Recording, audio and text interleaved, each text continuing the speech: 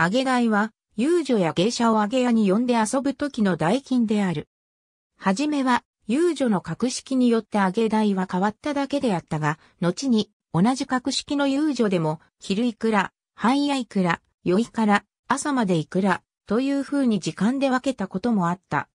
安永4年の吉原債券には、太夫90目、格子60目、三茶銀散歩、座敷持ち30目、部屋持ち30目などとある。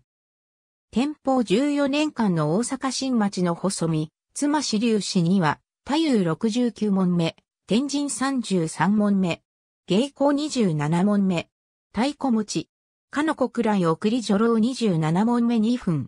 同芸子。同点女郎22問目。角出上げや。同子や。脇12問目。もっとも右の通の直談形は、酒量ともなり。ただし、店遊び一座切れ等は、酒量別の定めなり。とある。